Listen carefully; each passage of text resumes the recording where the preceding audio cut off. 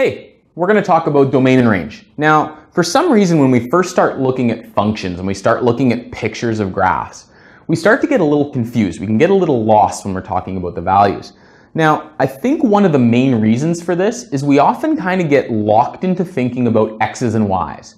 We always know that x's go there, y's go there, and that's it. Well, there's a little more to it than that. Understand that when you were first taught about x's, you were probably told that the x value is the independent variable and the y value is the dependent variable. Well, the reason for that is because when we think of things in terms of x and y, well, imagine I have some equation y is equal to 2x plus 7, right? We're used to seeing things in terms of y is equal to some function of x or some equation with x in it. Well, it makes perfect sense that it's going to be easier for me to find points by plugging an x value in that I choose and figuring out what y is. In other words, if I put 1 in for that equation, I know 2 times 1 plus 7 is 9. So the point 1, 9 is on that graph. That's how we're taught to graph when we're starting out. Well, understand though, this doesn't have to be x, and this doesn't have to be y. You could be talking about the time it takes for you to travel somewhere. In other words, the distance could be here and the time could be there. So instead of a y and x equation, you would have like a d is equal to 2t plus 7 equation, something like that. It means the exact same thing. So instead of thinking specifically of x and y, I want to think of independent and dependent, or the way I like to think about them, function inputs and function outputs, or the value of the function. So in other words, this equation here at a function input of 1, the value is 9. And that points on the equation, right? Because when I put 1 into the equation, the equation gives me back or outputs at me 9.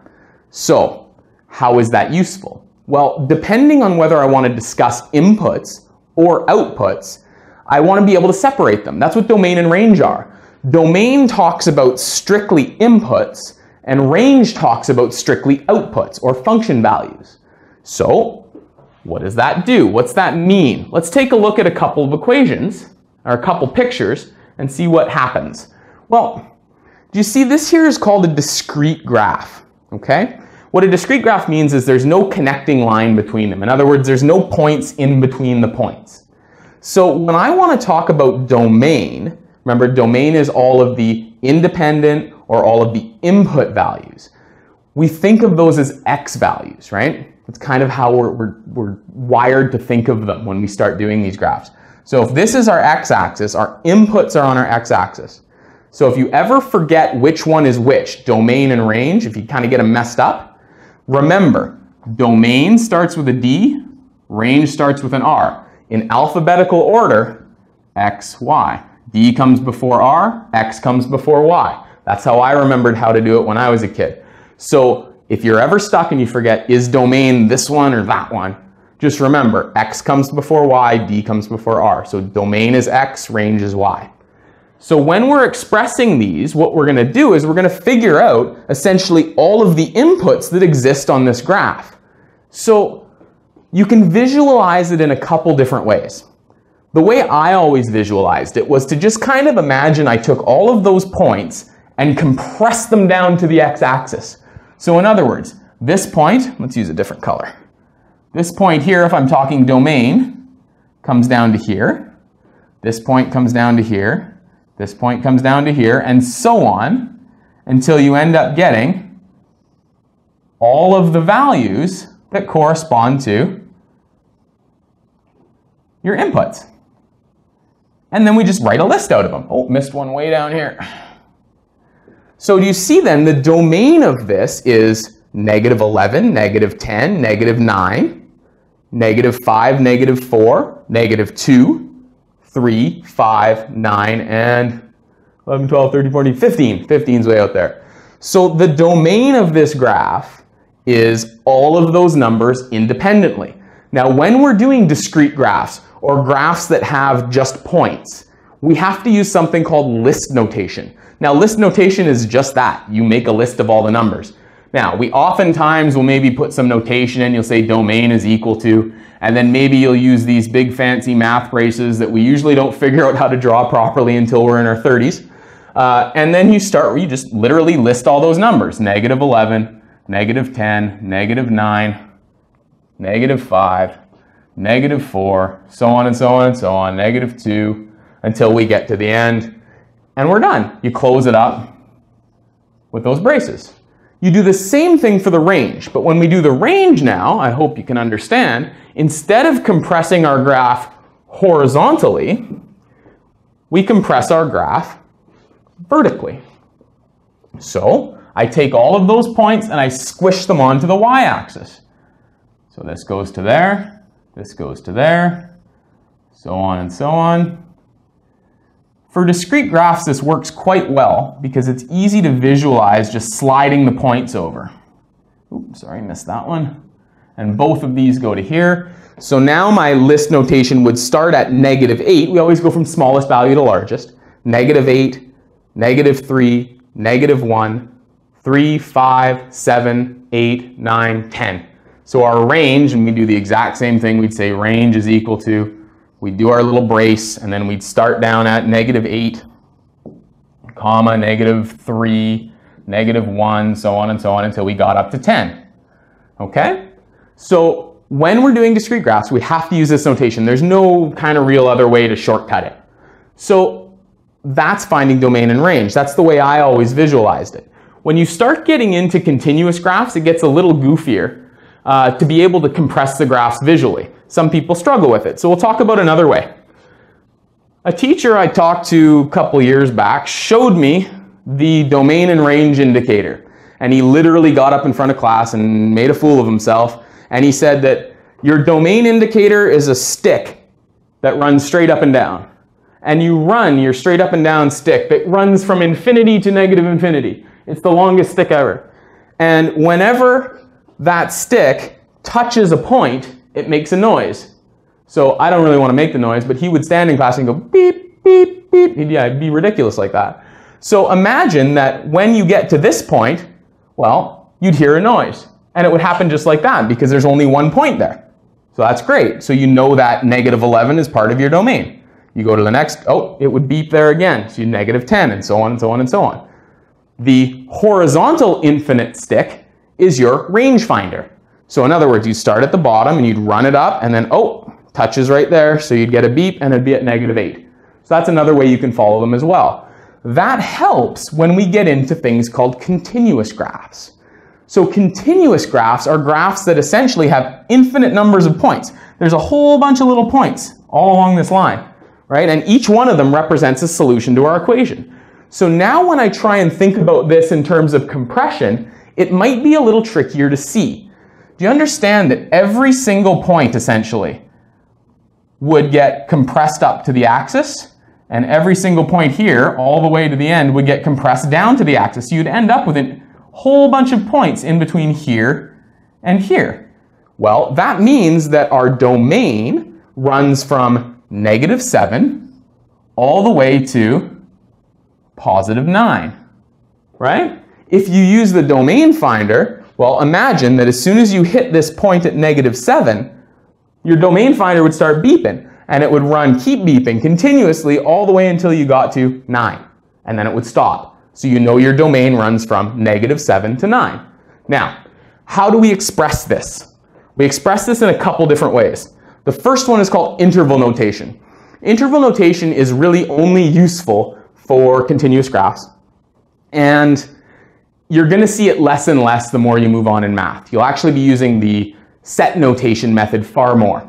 But for now, we're going to talk interval notation. Now, interval notation is just essentially brackets with the start point and the end point. And it's assumed that all of the points in between are, are valid answers. So what I would do is I'd write negative 7 and I'd write 9 with a comma. Now I'm going to put brackets around them. Now there's two different types of brackets you use in interval notation. You use rounded brackets or square brackets. Rounded brackets are when the value is not included in your set, when the endpoint is not a part of your set. In other words, if this was an open circle point, that didn't include negative 7, I would use that round bracket. But because it is included in the set, I would use squares. So I would square bracket around 7 and 9, and that would be my domain. Right?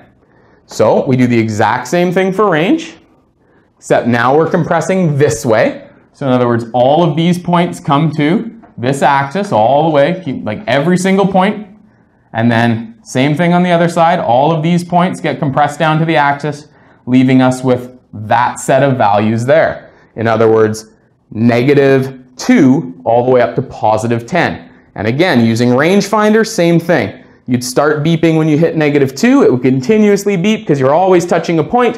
When you got to 10, it would stop beeping as soon as you passed 10. So our range now is going to be negative 2 all the way up to 10.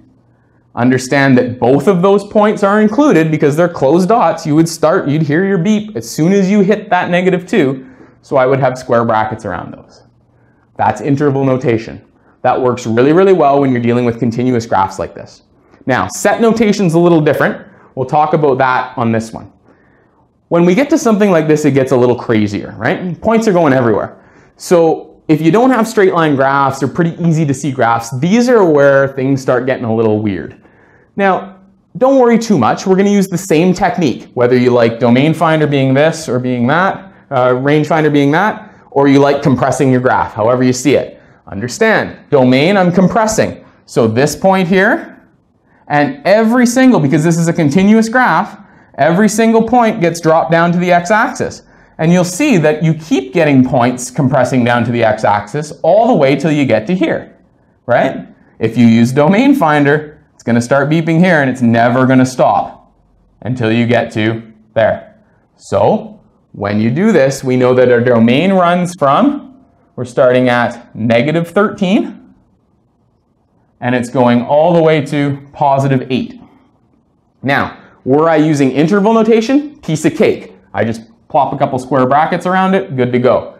But we're going to use set notation, and I really want to break down what set notation is. So domain is, in this case, we're going to assume x values because there's no value for the axis. So we'll pretend, we'll just say it's x. And we're going to start with our brace. Now, it's really important that you follow all of these steps, right? Set notation, it's really strict in how you're supposed to write it. So first thing we have to do is we have to name the variable we're talking about. That's really important because if we don't know what variable we're talking about, it could be x, it could be y, it could be d, it could be l, who knows? So I'm going to put the variable that I'm talking about first. So this is reading as the set of x values, and then we're going to use some math symbols. We're going to use a straight line. That straight line means such that. So it's the set of x values such that, and now here is going to go kind of our condition. In other words, what's happening? Well, do you see I have an endpoint here at negative 13 and an endpoint here at positive 8. So I'm going to be saying negative 13 to 8 but I can't just do it like this. I have to be a little more mathematical. So we need to use inequality statements. Now I know that x is greater than negative 13, but less than negative 8. So I can sandwich x right in between these, and I can put those inequality signs. So I can say negative 13 is less than x, but x is also less than 8. So that's essentially sandwiching x in between negative 13 and 8. Yeah? Now, this is really important. This here, the less than or equal to signs, are essentially like our square brackets for our interval notation. That means that the point's included because negative 13 is also a part of our set. Therefore, that equal to becomes really, really valuable and really necessary. Again, if this were an open circle point, that wouldn't be there. It would just be a less than, okay? So all right, we still got more though, because now we need to talk about what values are possible. So I'm going to put a comma after our condition. Oops, terrible comma. So a comma after our condition, and now we have to say, well, what numbers can x be? So now a few more weird math symbols, and it's going to be this thing. That means is a member of or belongs to or is an element of. In other words, it's just what kind of number is it? And you learned about number sets like natural numbers, whole numbers, integers, real numbers, all that kind of stuff.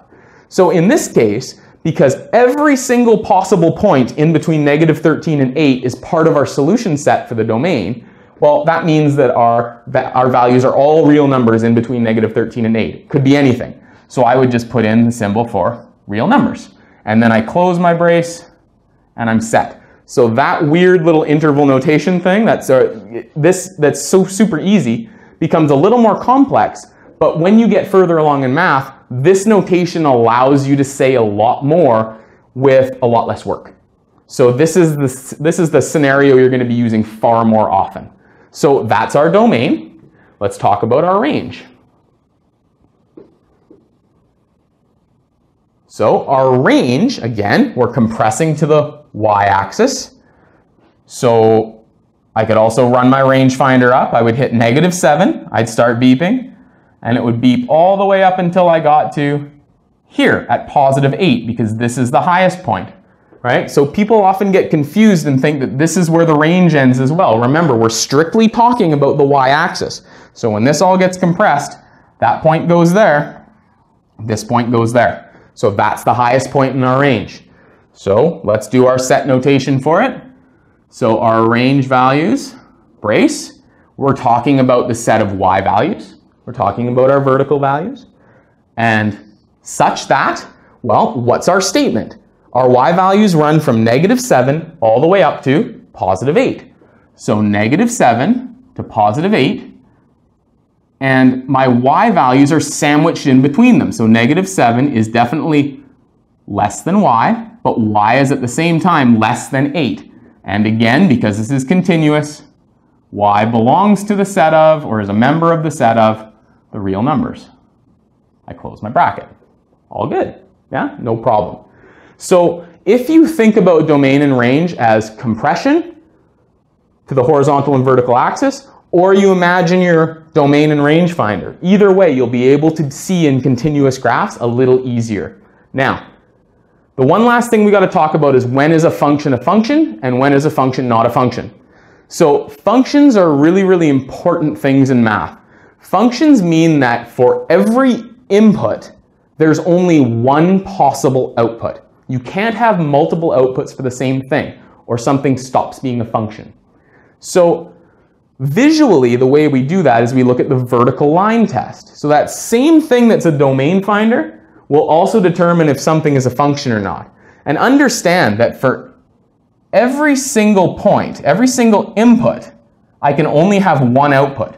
So do you see that the vertical line test means that if I can touch multiple places on a vertical line, well, that means I have more than one output for the same input. For instance, if I talk about this input of negative 2, well, I have a value here, I have a value here, here, and here. I actually have four different outputs for that one input. This can't be a function. In other words, the vertical line touches at four different places, even if it touches at two. That's not a function.